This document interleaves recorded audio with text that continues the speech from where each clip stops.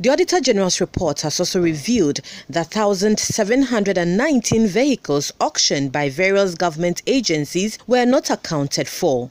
Auditor General Daniel Domelevo says his outfit's inability to prosecute perpetrators accounts for the continuous recording of irregularities in the payment of taxes. All that we do is we can disallow the expenditure. And if it has already been paid, we can surcharge. But we cannot discipline any public officer. Remember, we work with law. The law does not give me that mandate.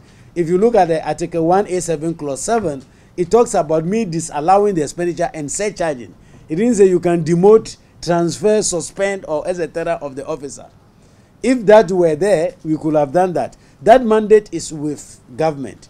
Government, that is the minister or the chief director, etc., could call the officer and say, "Why did you do this?" Go through disciplinary measures, and if this was were to be done in the past, or we are doing it, I think will have helped all of us to um, get better results.